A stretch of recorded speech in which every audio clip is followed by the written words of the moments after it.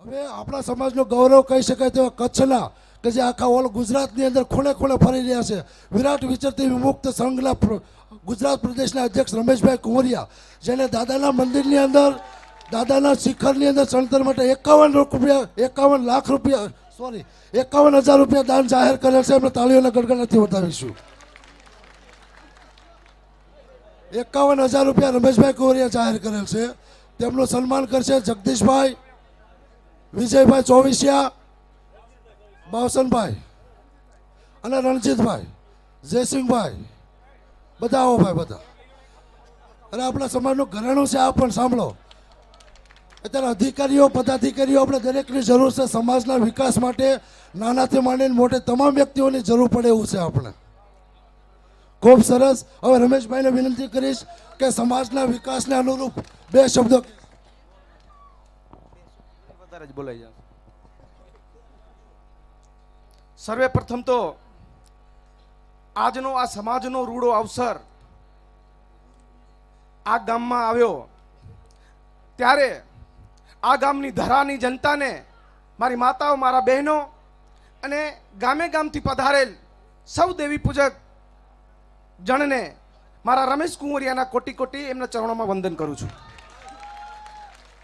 મિત્રો કોણ કહે છે કે સમાજમાં એકતા નથી? કોણ કહે છે કે સમાજ સંગઠિત નથી? આ સમાજ ધર્મને આધીન જેમ ધર્મનું નામ પડતું હોય, ત્યારે સાહેબ કોઈ પણ ખૂણો હોય, આ ગુજરાતનો એ ગુજરાતના ખૂણે ખૂણેથી આ સમાજ બહાર નીકળીને એક થઈ જાય છે. ત્યારે મિત્રો, હું તમને અવારનવાર કહેતો આવ્યો છું, મારા હર કાર્યમાં કહેતો આવ્યો છું કે જે સમાજ પોતાના ધર્મની રક્ષણ ન કરી શકતો હોય, પોતાની સંસ્કૃતિની રક્ષા ન કરી શકતો હોય, પોતાની પરંપરાની જો રક્ષા ન કરી શકતો હોય, એ સમાજનો ક્યારેય ઇતિહાસ નથી બનાવી શકવાનો. માટે કહું છું મિત્રો કે સમાજને જાગૃત કરવો હોય, સમાજને સંગઠિત કરવું હોય, તો સમાજના ધર્મને ટકાવી રાખવું પડશે, તેના મૂળને ટકાવી રાખવું પડશે. અને જ્યારે આ ટકી રહેશે, તો સમાજમાં એકતા, શિક્ષણ અને સાહેબ, રાજકીય પાર્ટીઓ પાસેથી જે પણ મેળવવું હશે ને, હું દાવેથી કહું છું કે કોંગ્રેસ ને ભાજપના બંને બેઠા છે ને આગેવાનો એમની પાસેથી લેવાની શક્તિ આ સમાજ ધરાવે છે, મિત્રો. પણ માત્ર વસ્તુ એટલી છે કે સંગઠિત થઈને કામ કરવું પડશે. તમે કામ કરો, કોંગ્રેસમાં કરો, ભાજપમાં કરો, તેનો વાંધો નથી. પણ અગ્રતા કરમ મારા સમાજની રેવી પડે, મારા સમાજની રેવી પડે. અને મારા સમાજ માટે થઈને તમને રાજકારણ જોઈન્ટ કરવું પડે. અને સમાજ છે ને, હું અવારનવાર કહું છું કે જનેતાના બે નામ છે, એક જનેતા કે જેને કુખે જન્મ લીધો હોય અને બીજો જે કુળમાં જન્મ લીધો હોય એ જનેતા આપણી છે, આ સમાજ છે એ પણ આપણી જનેતા છે. તો આ જનેતાનું જતન કેમ થાય? એ સાહેબ, આવનારી પેઢીના હાથમાં છે ત્યારે ફરી ફરીને કહું છું કે જાગો યુવાનો જાગો.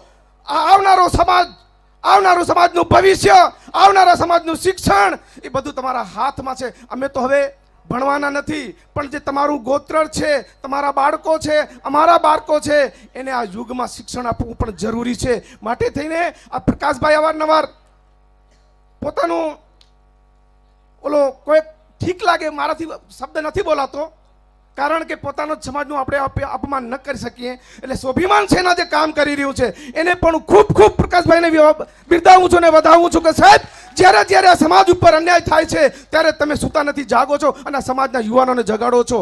તો એક પ્રકાશ વણોદિયા નહીં, પણ ગુજરાતમાં ઠેર ઠેર, ઘર ઘર જેમ ભગતસિંહના વિચારો હતા, તેમ આપણા ઘરમાં ભગતસિંહના વિચારોને પેદા કરવા પડશે. ઘર ઘર સંવિધાનના વિચારો હતા.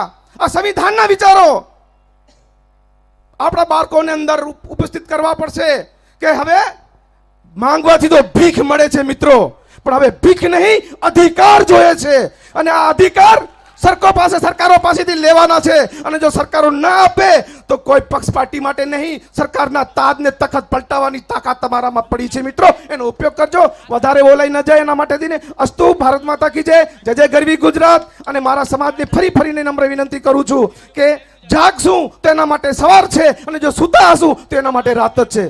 જય હિન્દ.